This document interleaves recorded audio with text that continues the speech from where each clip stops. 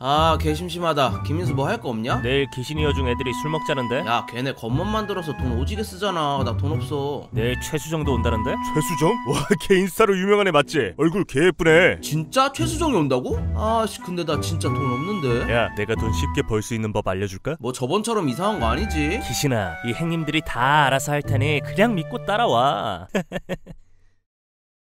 성추행 사건이다! 아 시간 겁나 가네. 안 나왔어요! 네 어서 오세요. 너 안주 뭐 먹을 거냐? 그냥 라면이나 먹자. 맨날 라면만 먹냐? 뭐 배달 시켜서 먹자. 아동 청소년에 대한 강제 추행은 야 알바 뭐 하냐? 지금 폰 보고 있어. CCTV 위치는? 여기 안 찍혀 그럼 한다. 그래 이 행동은 절대 해서는 안돼. 야이씨 그럴 게면 어떡해? 아니 나는 다시 집어넣으려다가. 저 괜찮으세요? 제가 치울게요. 아니에요. 앉아 계세요. 저희가 다 할게요. 아니에요. 잠시만요. 빗자루 좀 들고 올게요. 아 앉아 계세요. 저희가 다 할게요 도와주셔서 감사합니다. 덕분에 금방 치웠네요. 아니에요. 저희가 깨트린 건데 오히려 도와주셔서 감사하죠. 야 네가 저거 세 개나 깨뜨려서 오래 걸렸잖아. 근데 저거 우리가 배상해야 돼? 네가 깨트려서 팔지도 못하는데 그럼 편의점 사장님이 내주리? 정신 차려 이 눈치 없는 놈아. 저 그럼 앞에 것만 먼저 계산할까요? 아 네네. 과자랑 라면만 계산해 주시고요. 저거 깨트린 소주도 같이 계산해 주세요. 네 잠시만요 총 17,650원 나왔습니다. 영수증 드릴까요? 네 감사합니다. 아까는 저 때문에 죄송했습니다. 아니에요. 저야말로 같이 치워주셔서 감사합니다. 야 영수증 봐봐. 소주 세 병 잘 찍혀있네. 우리 얼마 정도 받아낼 수 있냐? 야 근데 제 알바라서 있는 돈 별로 없지 않을까? 나중에 자기 이력서에 빨간 줄 그리고 싶지 않으면 알아서 잘 주겠지. 들어가자.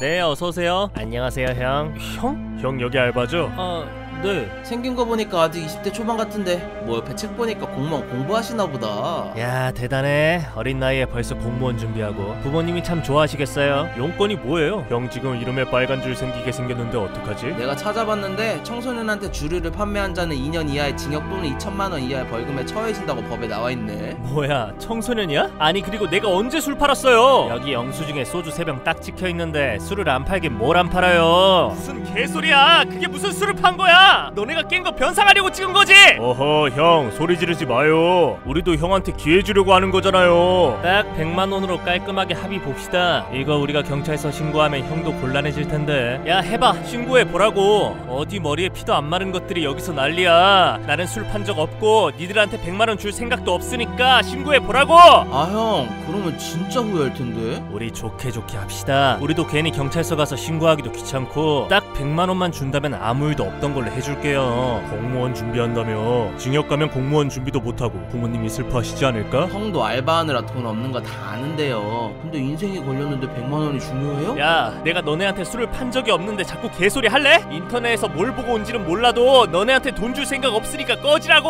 아씨, 말 더럽게 안 통하네. 너 나중에 인생 조졌다고 울고불고 하지 마라. 가자. 저러다 인생 조져봐야 정신 차리지 아, 진짜 별 미친 놈들이 다 있네. 야 박스릴 박스릴 아, 사장님 오셨어요? 너 미성년자한테 술 판 적 있어 없어 아니, 술 판 적은 없는데 그게